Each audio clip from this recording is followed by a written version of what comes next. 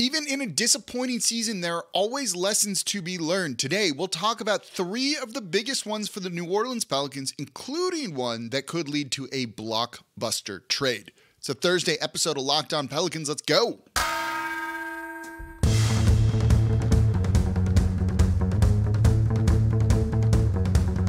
You are Locked On Pelicans, your daily New Orleans Pelicans podcast, part of the Locked On Podcast Network. Your team every day. Welcome to another edition of Locked On Pelicans, the daily podcast covering your favorite team, the New Orleans Pelicans and NBA, part of the Locked On Podcast Network, your team every day, available wherever you get your podcasts and available on YouTube. I'm your host, Pelicans Insider Credential member of the media, Jake Madison, at NOLA Jake on Twitter, here with y'all on this Thursday, and we're going to look at some of the biggest lessons learned for the Pelicans this season, including in this first one one that could lead to a massive roster shakeup and a very big trade. And of course, thank you for making Locked On Pelicans your first listen today and every day. We're here Monday through Friday for y'all, breaking down this team like no one else is, completely free. Completely free. There's no charge. All I ask if you want to support the channel, try and listen one day more a week than you normally do. Try and become an everydayer and comment down below on YouTube. So, let's get into it. There, there's a lot of lessons I think to be learned. I went over kind of one yesterday when we were talking about assistant coach Jarron Collins. This defense was good. I think the defense can be good this coming year. That's a lesson to be learned, but that isn't as insightful or interesting to me as some of these other ones that I think do impact the Pelicans offseason to a degree. So let's start with this. First lesson learned, I think, that I take away that really is going to impact what the Pelicans do soon is Jonas Valanciunas isn't the long-term center for the Pelicans and is probably not going to be on the team next year. That is not to say that Jonas Valanciunas is bad. I think he is an underrated center. I'm going to sneeze. I've been like trying to hold it in. Hold on. Sorry. There we go. I've been trying. I was trying to hold that in, and I don't have like a cough button, a mute button. I don't like to edit the show. I like to just do this all in one take. So forgive me there. So Jonas Valanciunas isn't going to be uh, on the team next year. Shouldn't be the starting center. Isn't the long term center. When you look at the Pelicans in terms of minutes per game, Jonas Valanciunas ranks six for the Pels, basically at 25 minutes per game. That's not terrible. But when you look at it, Jonas Valanciunas is the third highest paid player on the team at $14.7 million this year. He's going to make next year over that, or does it is the exact same? 15.435 next year. You can't pay that much salary to a guy that's getting the six most minutes, and more importantly, a guy that you don't close games with. And this is really where this comes down to it. Jonas Valanciunas, I think, is an underrated center. I thought he was very good for the Pelicans this year. There are limitations that he has, yes, but I don't really think he was much of the problem for anything that they did. 14 points per game, 10.2 rebounds per. He shot 35% from 3 on, you know, very limited attempts, but does work down low. The problem is defensively. You have to play drop coverage with him if you put him out there on the perimeter. He gets eaten alive and he's not much of a rim protector shot blocker, though he's a big body and does have some rim deterrence that's different than rim protection. So I don't th- think he's a bad player. I think he's better defensively than he's given credit for, even. But if you're not going to play him, what what's the point? And I think that's really what you saw here. Willie Green wants to go a different route and wants their different defense to do other things. And that just kind of means that Jonas is going to be frozen out. I, I don't think it's a confidence thing. I don't think it's like, well, he's not going to want to be involved if he doesn't think he's good. Uh, this dude is absolutely a pro and will do what he's told and what he's asked to do. But you just can't pay him that kind of money if you're not going to really use him, if you're not going to close games with him. Earlier in the week, if you're an everydayer, you listened to my show where I talked about the Pelicans salary cap and some of the limitations that they have. You know, at the trade deadline, they dumped Devonte Graham for Josh Richardson, who was fine, but that move was also largely a salary dump to clear space for this coming year. They're up against the luxury tax. Having a guy at over $15 million isn't ideal unless he's kind of a core guy, and Valanciunas isn't. So, this is kind of where my thought process is two ways and what to do here. You've heard me say this before. Just get a cheap starting center. Move on from Valanciunas, trade him, dump him, whatever, however you want to do it, and sign a guy, Mason Plumlee for the Clippers, who comes off the bench to be your starting center in name only, and he's going to play seven minutes to start the first half, seven minutes to start the second half, maybe a couple of spot minutes here and there in there. Just to be a big body that rebounds till you close small with Larry Nance Jr. or someone else. And you pay him $5 million, something like that, so that even if he doesn't play a lot of minutes, even if he's a starter in name only, he's not clogging up your salary cap sheet or anything like that. Or, and I wonder if this is the direction the Pelicans are going to go, you make a trade, a big trade for a guy like Myles Turner. I'm not the biggest Myles Turner fan, but if you want someone with size out there, and Turner has that at 6'11, to maybe help you in certain areas while also being a good three point shooter, 37% on over four, on four attempts per game this year. You know, well, I'm not a Turner guy, that's not bad. And that fits well with Zion Williamson and can space the court a little bit for him. He also does give you good enough rim protection. 2.3 blocks per game this year, 2.8 the year before that, 3.43 years ago. That led the league. Those are good numbers. Now, his blocks, I think, are a little bit of like empty stats, swats the ball out of bounds so the opponent retains possession. But your defense can get set, and that's what the Pelicans do a very good job of uh, when they attack. So you could sell me on Myles Turner. The problem is with him is he's just not a great defensive rebounder. At seven and a half per game this past year, he's just not great in that regard. So if you were frustrated by them going small with Larry Nance Jr., and you're like, cool, they'll put Myles Turner out there, I don't know if that's going to fix exactly what the problem for the Pelicans was.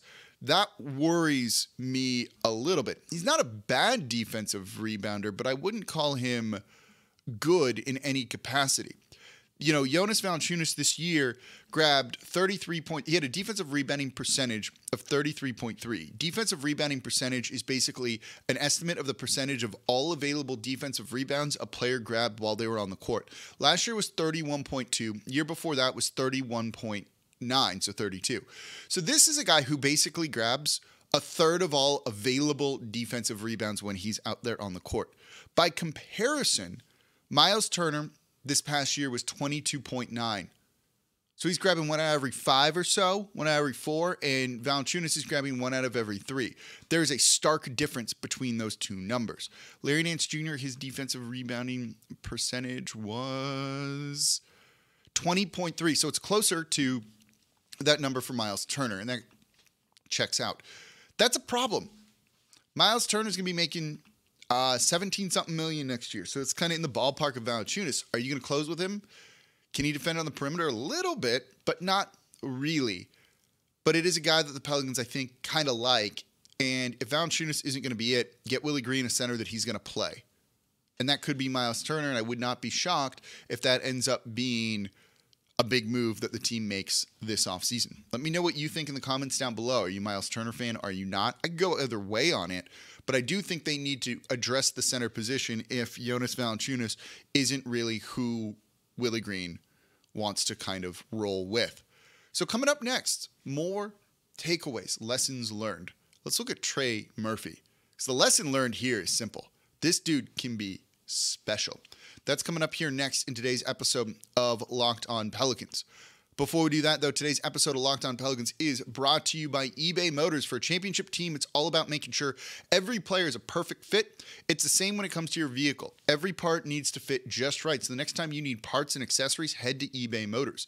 With eBay's guaranteed fit, you can be sure every part you need fits right the first time around. Just add your ride to My Garage and look for the G- green check mark to know the part will fit or your money back. I have a 1976 Corvette I'm working on. I work on all of my cars. There's no worse feeling than getting a part that isn't exactly right. And look, you can't, you, you don't want to kind of bang that in there to make it work. It just doesn't happen. It's a problem. Shop once, get the part you need. I just ordered a bunch of stuff from there, including a brake, a brake bleeder kit to firm that brake pedal up a little bit and do it by myself. So, with over 122 million parts to choose from, you'll be back in the game in no time. After all, it's easy to bring home a win when the right parts are guaranteed. Get the right parts, the right fit, and the right prices on ebaymotors.com. Let's ride. Eligible items only, exclusions apply. Thank you for making Locked On Pelicans your first listen today and every day.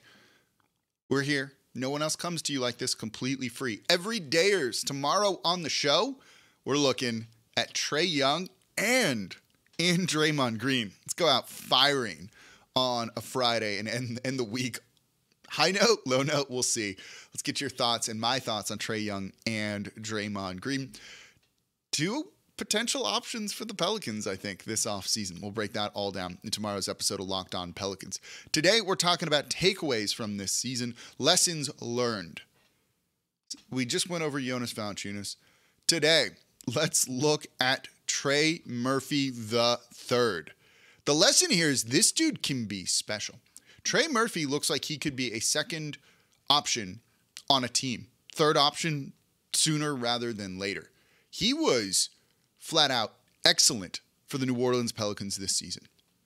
14 and a half points per game, 3.6 rebounds, but the number you really look at is 40.6% from three on over six attempts per game.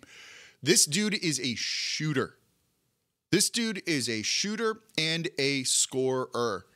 He can do it all, man. And when you look at him and watch the way his game evolved offensively, started off as a three point shooter, added that kind of attack downhill attacking the basket game as he worked hard to get into the dunk contest where he made the finals and arguably could have won. Then, as the season went on, you saw better footwork, more moves to create some space and separation, and then a floater, a mid range jumper, becoming a guy that looks like he can score at all three levels in the NBA. And with good size at 6'9, 6'10, he seems like a guy that is going to be a strong player and a solidified starter at some point sooner rather than later in the future. He had a 41 point game this year, and I had to go and see was he the leading scorer for the team in terms of points per game? Uh, you know, in, in a single game. You had Zion with 43, Brandon Ingram with 42, CJ with 42, and Trey Murphy with 41. Think about that for a second. He was keeping pace with those guys. It was against Portland, that helps. But certainly to be able to go above 40 is absolutely a really big deal for a player like this. We've seen him a couple of times where he had 10 or more made threes, getting close to that. He had uh, against the Clippers, he was 10 of 12. That's impressive. This is a guy that is a really special player. If he starts to put it together on defense, becomes a better rebounder, gets a little bit lost on defense at times, but becomes a better rebounder, and he has the size for it. This is a player that is going to be key. This is a team that's not in a great spot in terms of the salary cap. Went over that a couple days ago on the show. And eventually you're going to have to lose one of Brandon Ingram or CJ McCollum. It just feels like that long term. Now, that might be three, four years from now, but you need a replacement there. Trust me, Trey Murphy looks like he's going to be that replacement. You can look at the numbers going from 5.4 points per game to 14.5 this season, even though I don't think that really tells the entirety of the story of how good he was post All Star break for this team after he got kind of benched for a little bit and then came on really strong once he was back into the starting lineup. And once he was back into the starting lineup for the final 19 games that he played, 20.4 points per game, 45% from three. Those are really, really good numbers. He's clearly capable of taking on a larger role. So here's the thing about the jump up in the points per game from 5.4 to 14.5 is the usage rate. And this is something that's really important when it comes to this Pelicans team. The usage rate, as I explained some advanced stats today, it's an estimate of the percentage of team plays used by that player when they were on the court, on the floor. Did they get the ball? Did they shoot? Did they turn it over? Did they draw a shooting foul and go to the free throw line? Those are the type of things, plus maybe one or two other things that it's kind of looking at. Basically, did a possession end in some capacity with this guy having the ball in his hands? Usage rate you want your top players to have a high one. They do it. Brandon Ingram is at 30.8%. Zion Williamson is at 30.4%. When those two guys are on the court, they're using over 60% of a team's possessions. CJ McCollum, 26.4. Valanciunas, 23.4. You get what I'm saying. Trey Murphy, last year, when he scored 5.4 points per game, had a usage rate of 15.7. Okay. This year, big jump in points per game, right? Should be a jump in usage rate. Not really. 16.6. It didn't even go up 1%. He just became way more efficient with his basketball. Really, the three point shooting coming alive and then scoring efficiently at the rim.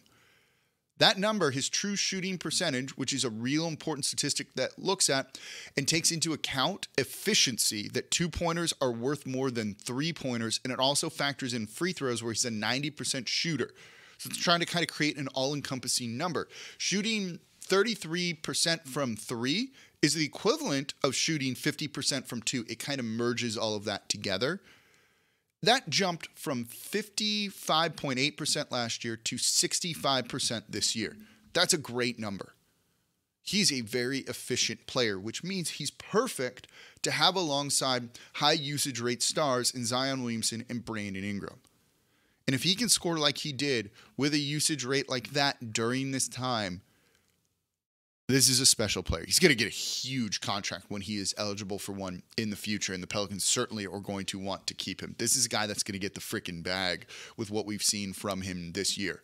That shooting, the ability to shoot quickly, to do it from deep threes as well, and then attack off the dribble, and then adding more to his game oh boy, if he gets good defensively, watch out, league. This is a guy that could be really special. Huge lesson learned from the Pelicans this year. They need to really start to include him more in the offense than what we've seen. And this is a guy that could be a 30 point per game scorer, it feels like at times. He's not going to get there. That's a lot.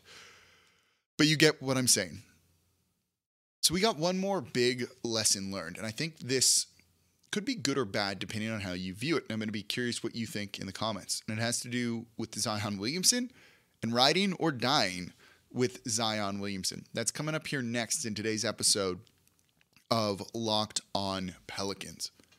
And thank you for making Locked On Pelicans your first listen today and every day. We're here Monday through Friday. No one else comes to you like this.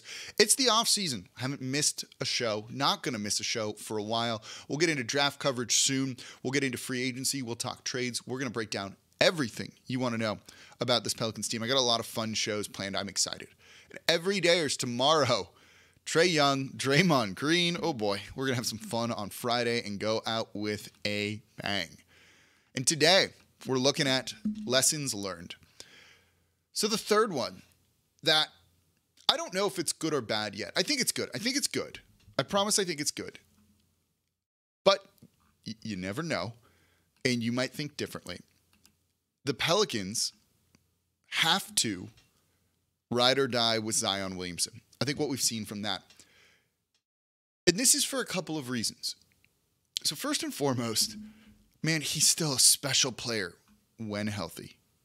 You know, when I when I searched to see the Pelicans leading score by game to see where Trey was on that leaderboard with his 41 point game against the Portland Trailblazers, it's like, oh yeah, Zion had that ridiculous game against the Timberwolves right before the new year. December 28th against the Timberwolves, 43 points, on 21 shot attempts. That's bonkers. That's bonkers, in my opinion, to see something like that. And it reminds you just how special of a player he is. He was 14 for 21, 14 of 19 from the free throw line with five assists, and he had 43 points. That is an efficient freaking game.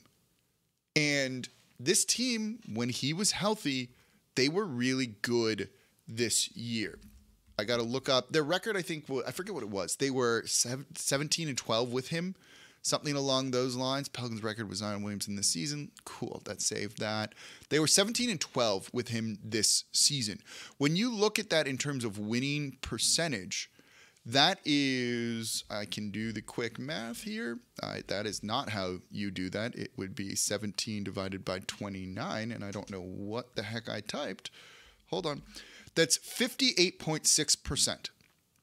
58.6%. When you do that, that slots them in this year at the one, two, three, four, five, six best record, only behind Milwaukee, Boston, Philly, Denver, Cleveland, and ahead of Memphis. They would have been the two seed in the Western Conference.